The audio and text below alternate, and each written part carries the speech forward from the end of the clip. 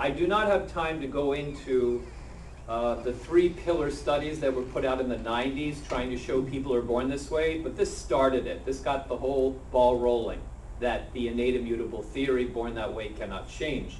Simon LeVay did this study in 91, published in Science, and uh, found a difference in the hypothalamic structure between heterosexual and homosexual men and said, aha, it's biological or genetic. I can break it down and, and, and uh, debunk the study so easily, but there's no time. But he himself said, it's important to stress what I did not find. I did not prove that homosexuality is genetic or find a genetic cause for being gay. End of story. but that's how it was spun in the media. Secondly, the twin study done by Bailey and Pillard, published the same year in the Archives of General Psychiatry. Dr. Anne Fausto-Sterling, a self-proclaimed lesbian at Brown University, said this is such poorly interpreted science, even my research students 101 can debunk it. And Bailey himself said there must be something in the environment to yield the discordant twins. Again, if I took about 15 minutes, I could laser it, you know, and debunk it. Very easy, these studies. Thirdly, Dean Hamer and associates at the NIH in Science published a study in 93. Homosexual brothers had this particular X chromosome passed from their mothers. And then it read in the newspaper's front page, worldwide, gay gene discovered. But then Hamer himself says these genes do not cause people to become homosexuals. But that's not what the media spun, because it was a multi-million dollar campaign that my brothers will be teaching you about this evening and tomorrow, that they wanted people to believe innate immutable, born that way, and cannot change. It really was a strategically planned uh, campaign, socially, social marketing political campaign. Last year, the American Psychological Association put out this quote. Although much research has examined the possible genetic, hormonal, developmental, social, and cultural influences on sexual orientation, no findings have emerged that permit scientists to conclude that sexual orientation is determined by any particular factor or factors. Folks, people with SSA are not born that way. They admitted it. Although jokingly, they came out a few months ago with a position statement saying that this type of therapy I do, reorientation therapy, doesn't work, they said, and it's bad. And actually, it's very funny if you read the fine print. They've said publicly, and it was spun, it doesn't work, and it's, uh, it's, it's unhealthy, deleterious for the health of the client. But if you read the fine print, what they said was, the studies, the 72 studies they looked at out of the 600 that have been done over the last 100 years, they said the methodology was suspect. So they didn't say it couldn't work. They just said the methodology was suspect in many of these studies. And the six-member task force that came up with this position were all homosexual oriented or pro-homosexual. They would not let anyone else on that six-member task force. So it's a joke. The year before they say people aren't born this way, and then this year they come out and say, well, this therapy really doesn't work. But again, it's, they're, they're manipulating a position which is not based on science, actually. You heard of the Human Genome Project? $5 billion paid by the US government to map out the genes of the body. Dr. Francis Collins was the former director of the Human Genome Project. He is now the director of the NIH, National Institutes of Health. And he stated, we didn't discover any gay gene. There isn't any such a thing. It ain't there, folks. There is no DNA test there is no medical test to determine if a boy or girl will have same-sex attraction. So, people are not born this way, although that is what is taught in the educational system, in the political arena, in religious communities, and certainly in the medical and mental health professions. Shame on them, because it ain't necessarily so. Dr. Robert Spitzer is a pillar of the American Psychiatric Association and he did a study of 200 men and women who came out of homosexuality. He said, like most psychiatrists, I thought homosexual behavior could only be resisted.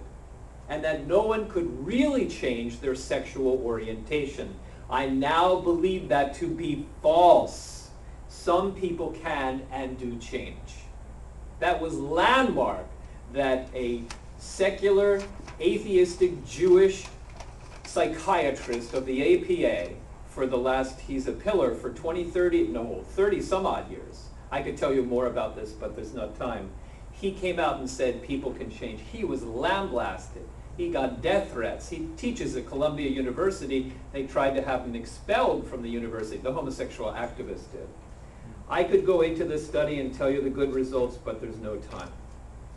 Uh, Dr. Stanton Jones and Dr. Mark Yarhouse did a study published in 2007 called Ex-Gays, a longitudinal studies, study of about 100, a little less than 100 men and women, who made the change to varying degrees, who didn't do traditional therapy, they were in ministries.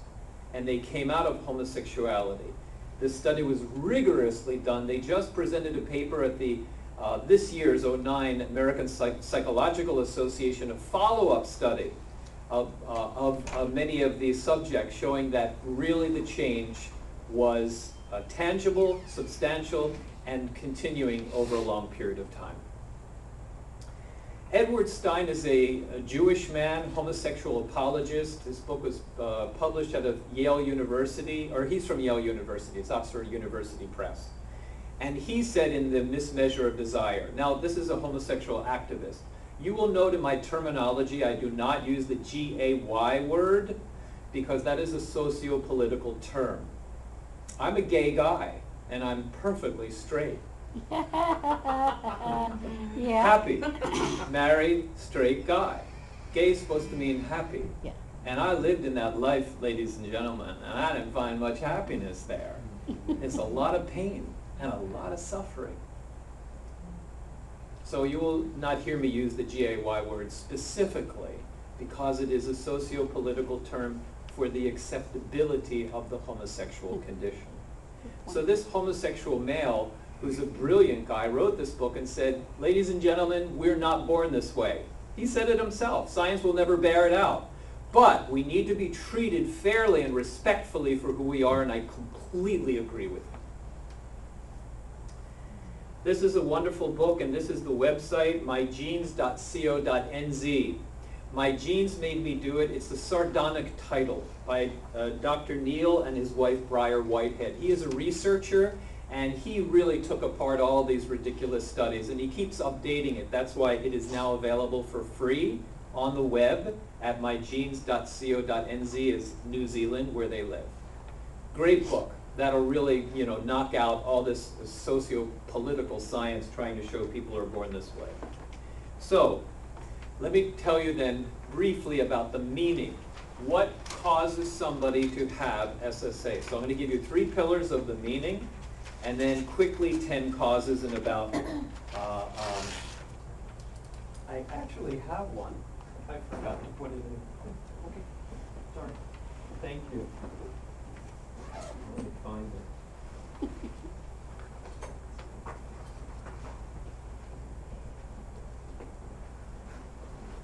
No, maybe I'll take yours.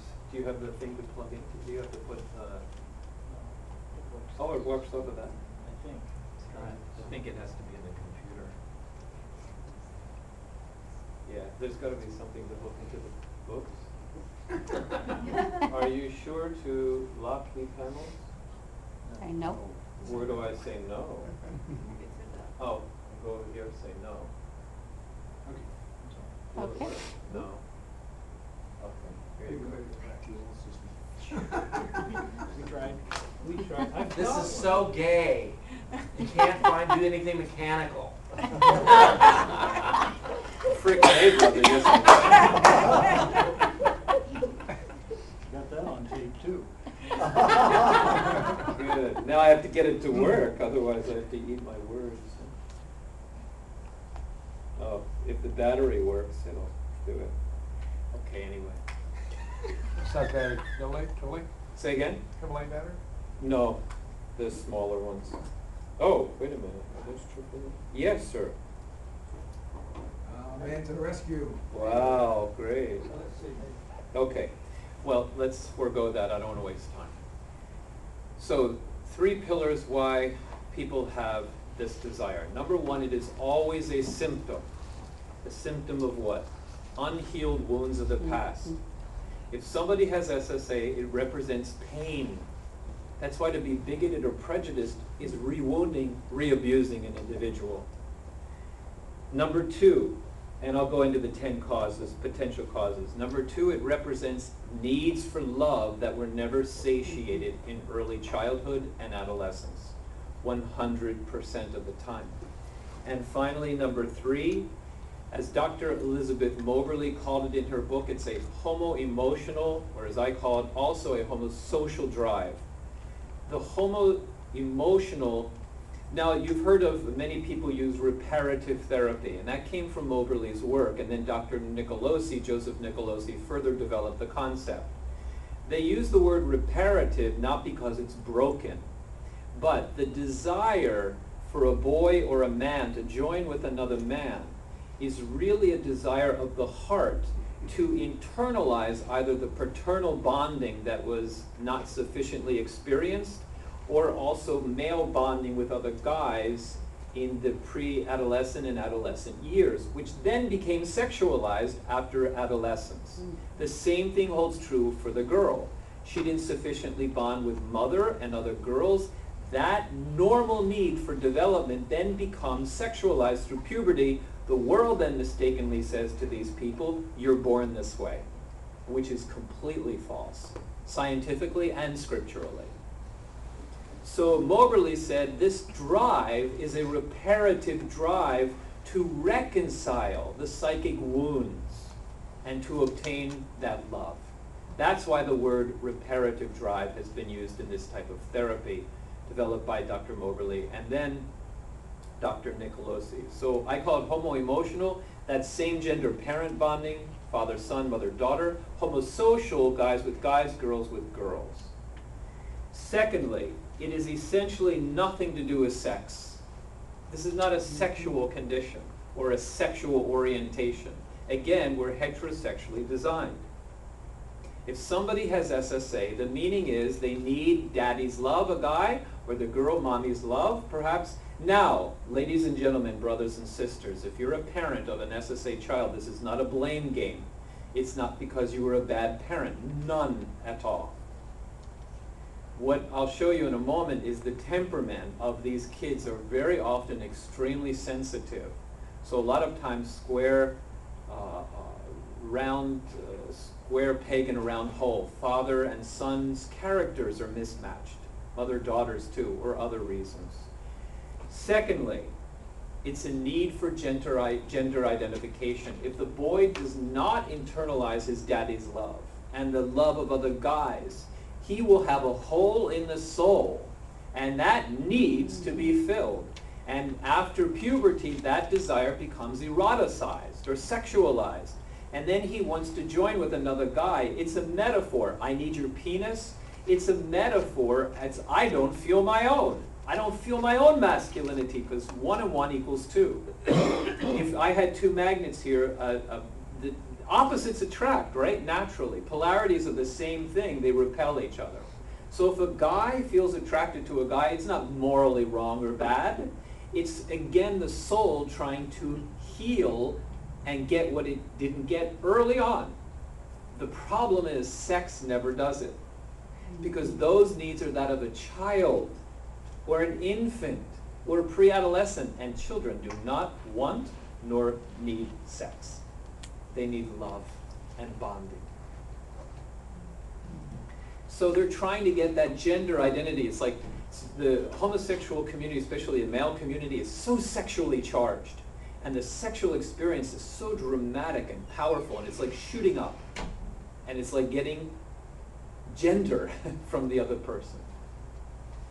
The relationships statistically do not last long. And if they do, they have sex outside the relationship. That's the norm. And finally, fear of intimacy with the opposite sex. Many of these boys are over-identified with a mother, and they internalize that femininity. The girls may be over-identified with the father and internalize his masculinity. Many of these women have been sexually violated or other ways abused